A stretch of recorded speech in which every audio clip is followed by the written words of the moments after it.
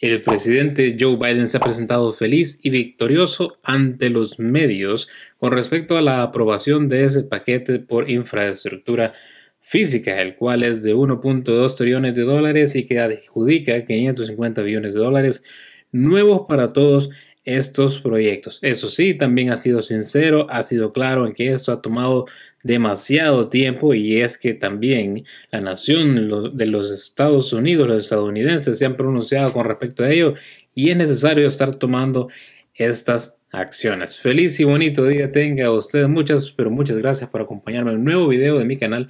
Si es la primera vez que se anda por acá, déjenme presentarme.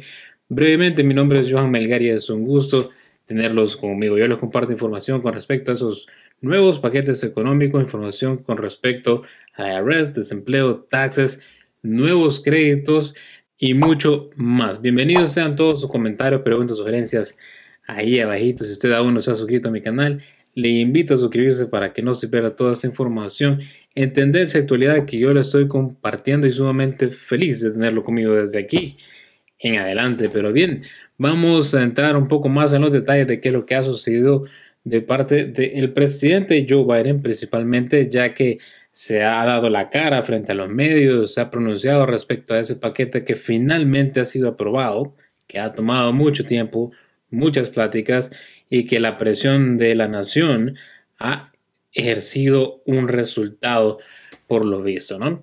Él ha sido claro con respecto a todo ello y también ha dado oportunidad de que los medios también le algunas preguntas, los cuales había sido criticado hace poco porque normalmente no responde, solo da lo que va a decir y normalmente se retira, ¿no?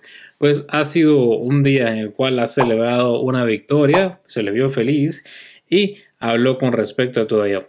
Entremos en los detalles y es que él ha dicho que este paquete de 1.2 trillones de dólares, él lo ha descrito como una ley, una ley que será transformadora y que va a remodelar el sistema del transporte de los Estados Unidos. También va a crear muchos empleos con todo lo que se va a estar trabajando y además una de las cosas que más le interesaba a él es que este paquete ha demostrado al público estadounidense que los legisladores, todos los que se encuentran en estos puestos de gobierno, pueden trabajar en conjunto y hacer pasar un paquete tan importante como lo ha sido en el de esta ocasión. De manera textual ha dicho lo siguiente, hicimos algo que se debió hacer hace mucho tiempo. De eso se ha hablado durante mucho tiempo en Washington, pero en realidad nunca se ha logrado cumplir.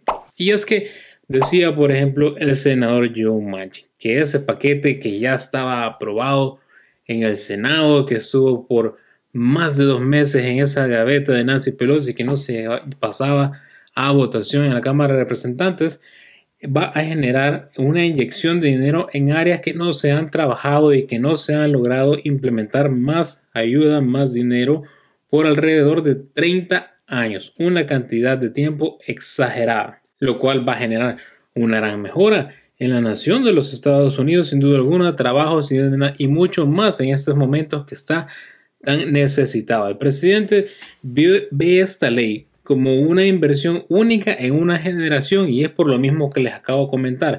Se venía hablando, hablando y hablando en las administraciones anteriores a la de él, pero nunca se pudo concretar nada. Es por eso que él ha dicho que con esto también va a ser posible ganar a la competencia económica del siglo XXI. Eso ha dicho el presidente Joe Biden, quien también ha dicho que espera que los resultados con respecto a la aprobación de ese paquete por infraestructura física de 1.2 millones de dólares.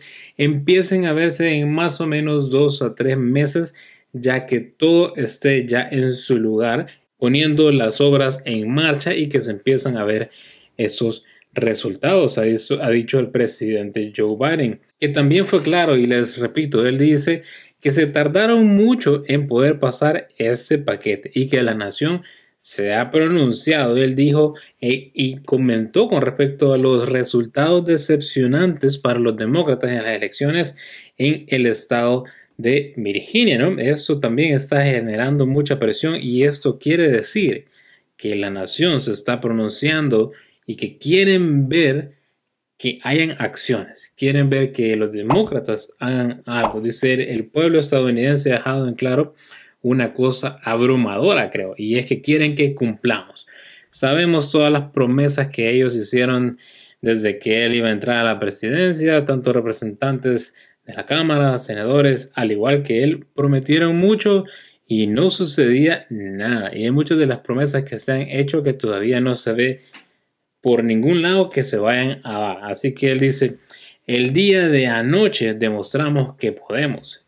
Es en un gran artículo, hoy sí cumplimos, dice, por lo cual se está dando esa, se está jactando esa, esa victoria, se está adjudicando esa victoria y dice que van a seguir cumpliendo. Ha dicho que ese paquete por reconciliación, ese Build Back Better o reconstruir mejor, va a pasar sin duda alguna. Eso sí, no dio ninguna fecha, pero fue claro y concreto con respecto a ello. Él dijo, permítanme ser claro, aprobaremos ese paquete por reconciliación también en la Cámara de Representantes y al igual lo aprobaremos en el Senado. Ese paquete que será totalmente pagado y que aliviará las presiones con respecto a lo que es la inflación que vemos en estos momentos, dice el presidente Joe Biden, ¿no? Algo que supuestamente son de los puntos más importantes y que Joe Manchin está criticando, que es el por qué él sigue retrasando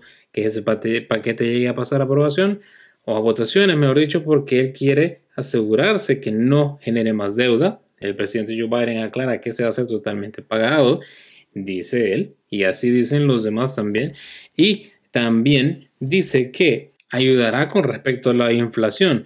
Eso no lo han dado en detalles cómo es que va a ejercer esos cambios, pero él dice que esto generará cambios en ellos. Dice él, por fin semana de la infraestructura, lo dijo sonriendo, lo dijo feliz y ha dicho, estoy tan feliz de poder decir eso. ¿Por qué? Porque obviamente es una gran victoria para él, es puntos que le van a sumar a los demócratas, puntos que le van a sumar a su administración y mucho más. Y como les decía antes, dijo que con respecto al proyecto de ley de infraestructura, dentro de los próximos dos o tres meses, a medida que vayamos poniendo las palas en el, en el suelo, seguirán viendo el desarrollo y todo lo que va a generar este proyecto. Va a ser un proyecto de ley que tendrá un profundo impacto con el tiempo.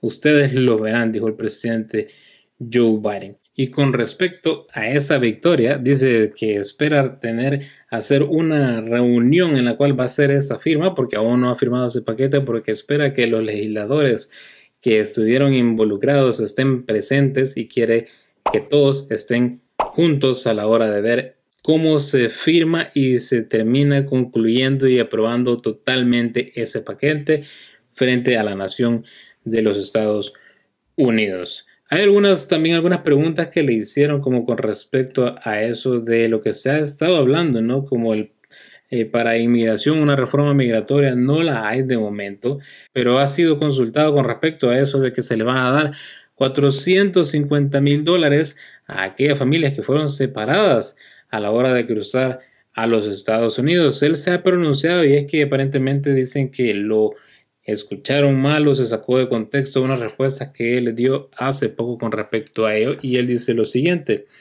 Ahora, aquí está la cuestión, dice, sí, de hecho, debido al comportamiento escandaloso de la última administración, refiriéndose al expresidente Donald Trump, si cruzaste la frontera ya fuera legal o ilegal, dice, y perdiste a tu hijo, fueron separados, que es lo que se les está eh, dando, a, culpando, mejor dicho, la administración anterior.